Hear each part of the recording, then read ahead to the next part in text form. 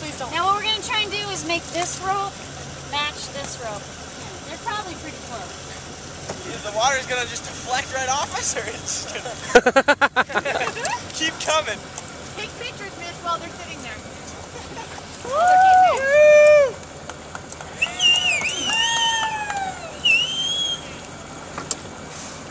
Tight. Tight. Oh, they're pretty close right Are they now. Yeah. Yeah.